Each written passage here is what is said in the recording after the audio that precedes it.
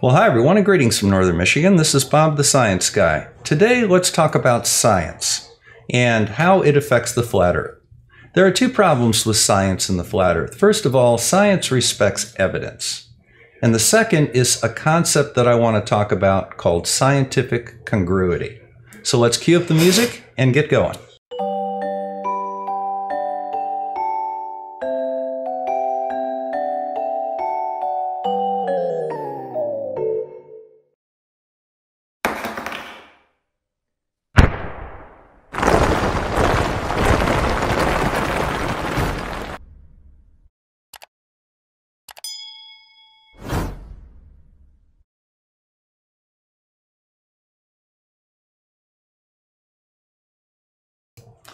Now, in science, congruence means that we can test an object several different ways and end up with the same answer. The answers and the results of the tests are all what we call congruent or agree with each other.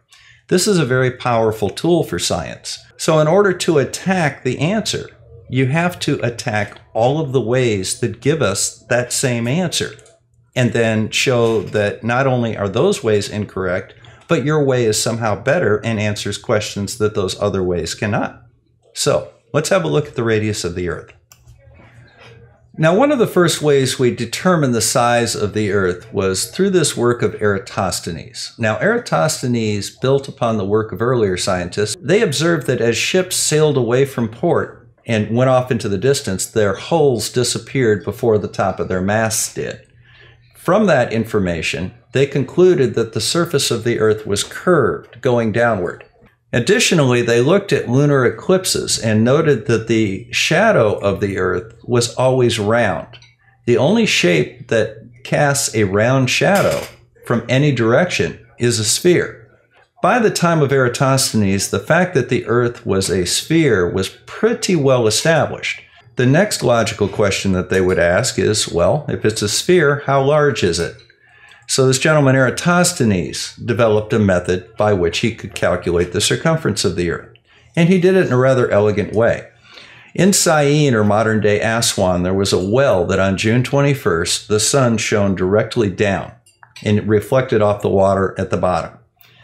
On that same day, he measured the shadow cast by a stick in Alexandria, a surveyed 500 miles north he found that that shadow was approximately 7 degrees, or about 150th of a circle, and he correctly assumed, based on that, that the circumference of the Earth would be about 50 times 500 miles, or, or 25,000 miles. At about 1000 AD, an Arabic scientist by the name of al-Biruni used algebra and trigonometry to determine the radius of the Earth directly.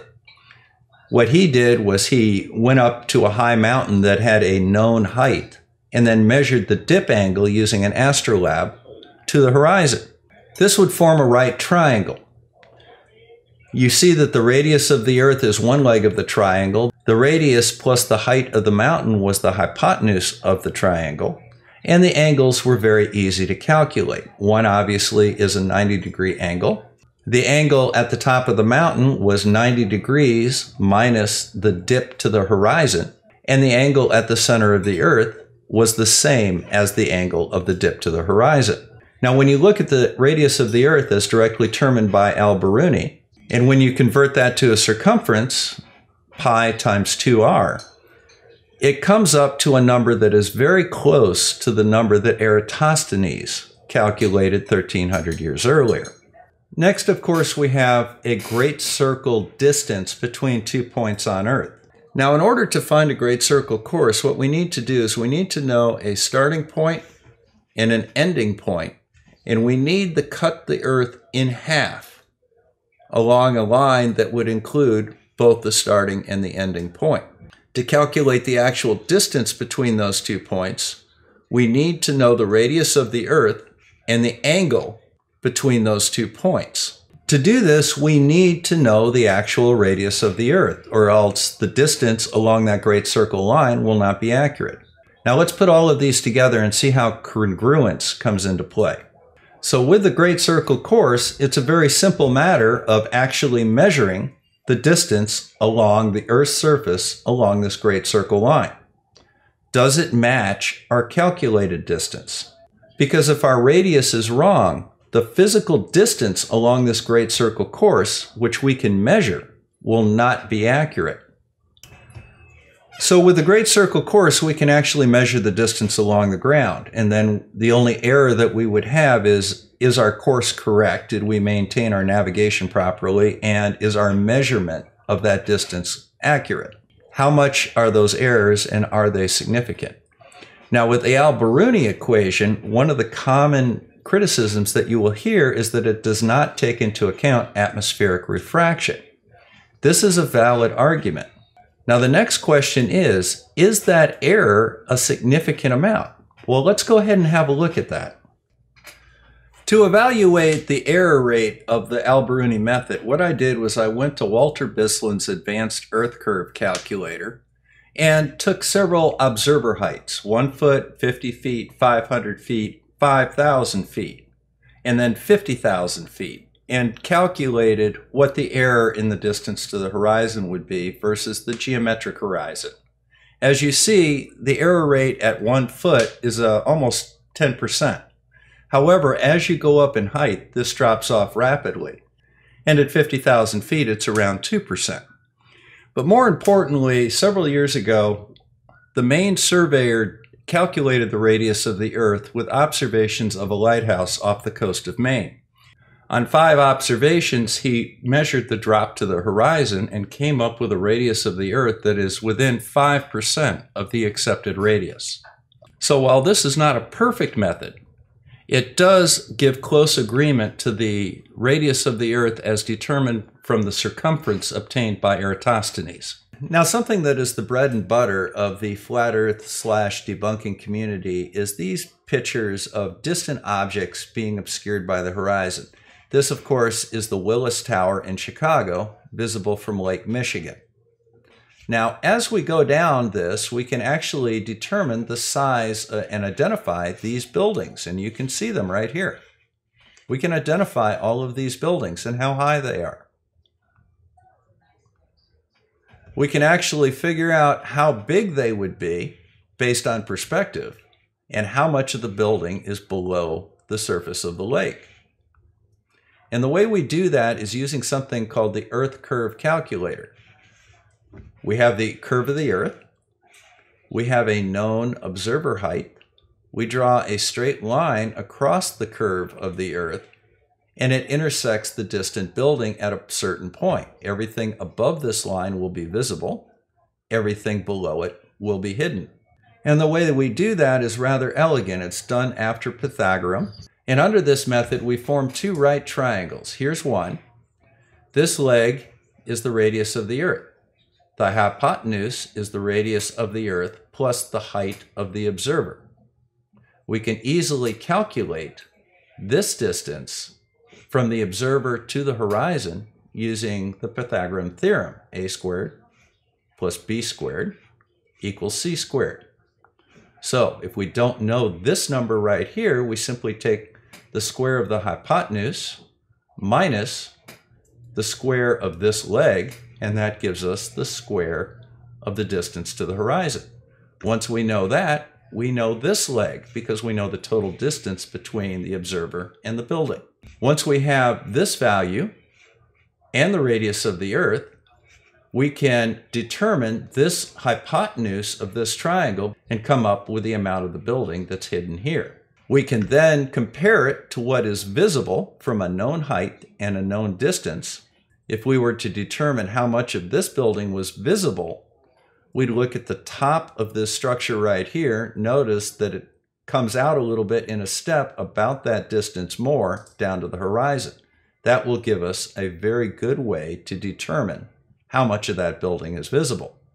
We can then compare it to our calculated results. So here's the bottom line. One of the things that you will see in the flat earth a lot is we see too far, uh, the black swan comes to mind, where they claim that since we see more than 1.22 miles, the earth is flat. That's not the case.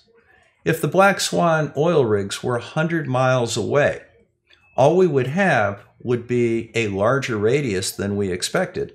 So let's just take an extreme case and just throw out some enormous numbers to clearly account for any error. The radius of the Earth is approximately 4,000 miles. Let's say that that means that the true radius of the Earth is somewhere between 3,000 and 5,000 miles. Now, none of these errors that we've talked about so far will give us a thousand mile error in any event, but let's just do it for the sake of argument. That means that the Earth is a sphere with a radius of between 3,000 and 5,000 miles. In order for the surface of the Earth to be flat, the radius of the Earth would have to be infinite. Even the Sun, which has a diameter of 864,000 miles, more than 109 times the size of the Earth. If you were to stand on the Sun, if that was possible, you would still see a horizon. It may be a 100 miles away, say, but you would see the same type of horizon that we see when looking out from the seashore over the ocean uh, at about three or four miles away. It's just simply a larger sphere, but it is still a sphere. Now, this is the great flaw of flat Earth. They're operating under a misunderstood concept of what science is. First of all, you have to accept evidence. It's just as simple as that. The only way that you can disprove evidence is to show that your evidence contradicts it. Second of all, you have to deal with this entire idea of scientific congruency.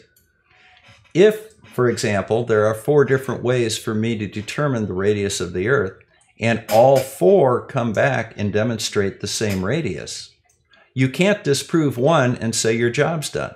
You have to disprove all four. The other problem that Flat Earth has is that they seem to misunderstand what their job is.